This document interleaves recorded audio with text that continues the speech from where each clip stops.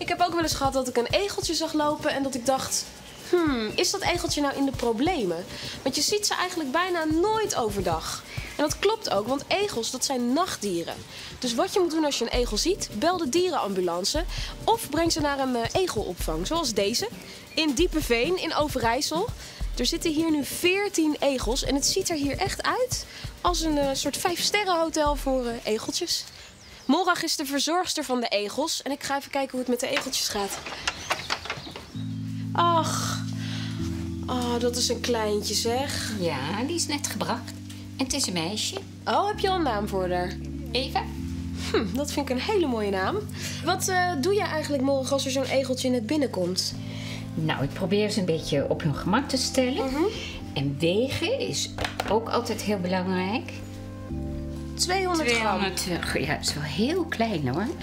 En ze is heel erg onderkoeld. Dus ze moet op een warmtematje. Oké. Om een beetje op temperatuur te komen, dan kan ze ook veel makkelijker gaan eten. Wordt maar lekker warm. Zo, dat is lekker hè? Hé hey, Morag, wat doe je eigenlijk nog meer als hier egels uh, binnengebracht worden? Het is heel belangrijk om goed te kijken of ze geen wonden hebben. Krijgen ze medicijnen en ze krijgen een pijnstiller als het nodig is. Wat voer je er eigenlijk? Ze krijgt pap en dat is gewoon gepureerd kattenblikvoer. Oh ja. Dit papje heb je niet in de natuur natuurlijk. Nee. Wat nee, eten ze normaal? Niet. Normaal eten ze insecten. Kevertjes, torretjes, Mhm. spinnetjes, uh, vinden ze heerlijk, regenwormen en water. Nooit melk geven. Oh, ik dacht dat je ze een schoteltje melk moest geven als je ze vond. Nee, er zit lactose in melk. Daar kunnen ze diarree van krijgen. En dan drogen ze uit. En dan kunnen ze zelfs doodgaan. Dus geef ze maar lekker water. Geen melk geven, maar water. Oké. Het is een mooie dag vandaag. Want uh, Ageet en Nina, die mogen naar buiten, hè? Ja. ja. Die zijn helemaal gezond en groot genoeg om nu te wennen in, uh, in een klein stukje natuur. Dat is, dat is één. Nina.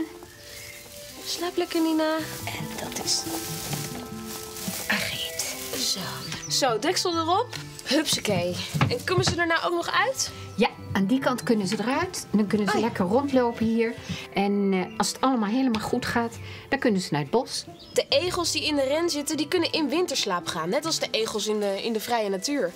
En dat doen ze omdat de dagen worden korter, er is minder te eten en het is heel erg koud. Dus dan bouwen ze zo'n nestje, gaan ze gewoon zes maanden slapen. Kijk, daar zit hij. Nou, slaap lekker. Tot over zes maanden.